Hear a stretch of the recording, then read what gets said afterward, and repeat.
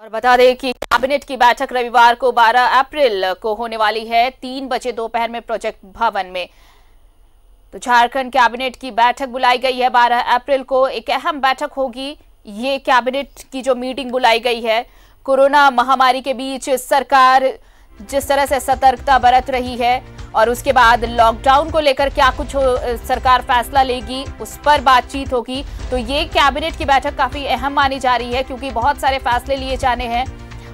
सबसे पहली बात तो कोरोना को लेकर क्या जो लॉकडाउन लगाया गया है वो लॉकडाउन सरकार उस पर, क्या राज्य सरकार क्या प्रस्ताव देती है? क्योंकि वीडियो कॉन्फ्रेंसिंग के ज़रिए प्रधानमंत्री भी सभी राज्यों के मुख्यमंत्री से बातचीत करने वाले हैं। इसी मसले को लेकर कि क्या लॉकडाउन की समयावधि बढ़ाई जाए, क्या इसकी मियाद बढ़ाई जाए, सभी राज्यों से इस पर प्रस्ताव लिया जाना है। वीडियो कॉन्फ्रेंसिंग होगी और इसी बीच अब जो कैबिनेट की बैठक होगी बारह अप्रैल को, झारखंड कैबिनेट की, हेमंत सोरेन हेमंत कैबिनेट की जब बैठक होगी तो इन तमाम मुद्दों पर भी चर्चा होगी कि क्या लॉकडाउन की अवधि बढ़ाई जाए।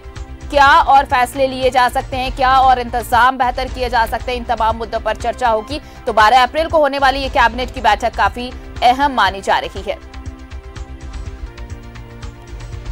और इसको लेकर निगरानी विभाग द्वारा सूचित किया गया है कि मंत्रिपरिषद की आगामी बैठक 12 अप्रैल को होने वाली है।